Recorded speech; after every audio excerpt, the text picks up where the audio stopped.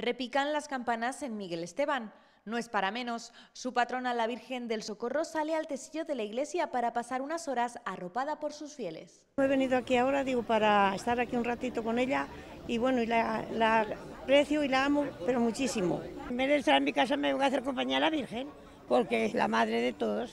La Virgen, ya darle una limosna y ya estar con la Virgen, acompañándola aquí hasta que podamos. Estamos aquí un ratejo con la Virgen acompañándola porque da gusto, vaya, estar aquí. Y es que entre los migueletes sobran los motivos para querer y venerar a su socorrilla.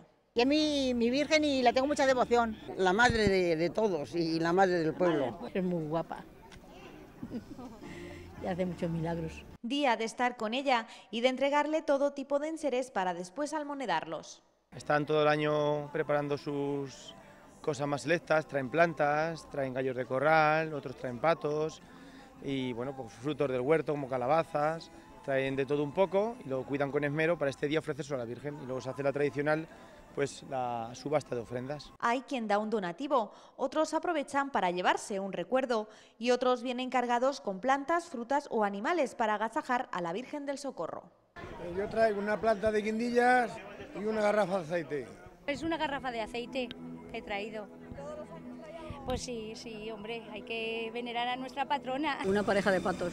Una calabaza de Gandía. Esta toca pelerina, le llamamos, para bailar, porque la Virgen necesita mucho dinero, están las obras a medias, y yo dinero no puedo traer, pues le he traído mi trabajo.